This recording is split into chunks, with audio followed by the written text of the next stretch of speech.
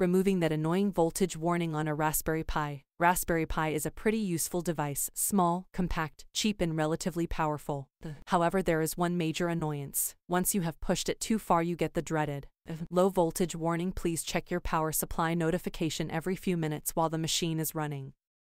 Here is our guide to turning it off. But before we explain that, what does low voltage warning please check your power supply mean? Simply put, the Raspberry Pi is not getting enough power. A lack of power means the CPU and other components can both underperform or perform erratically. Methods to avoid low voltage warning on Raspberry Pi 1. Change your Raspberry Pi's power supply. The Raspberry Pi device operates efficiently with a power supply that satisfies the power requirement of 5 volts and 2.5 amps. If you are using a power supply that doesn't meet this criteria, you should immediately replace it to avoid a low voltage warning on your Raspberry Pi. Consider using the official Raspberry Pi power supply for guaranteed compatibility. Cheap power supplies can have poor voltage regulation, and it may affect your device.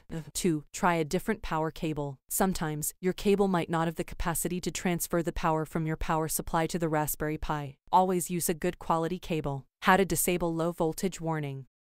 Need to remove the battery monitor plugin which is shows the notification on your desktop. Use the following command to remove this plugin from your device. Sign sudo apt remove lxplug ptbatt reboot your device and you should no longer see these messages. Conclusion A low voltage warning on Raspberry Pi isn't a good sign for your device as it may cause your device to heat up. The main reason behind this warning is the use of incompatible power supply, an issue in the power cable, or possible hardware fault. If the above has been tested and the notification has become annoying you can remove it by modifying the bootconfig.txt file and removing the battery monitor plugin.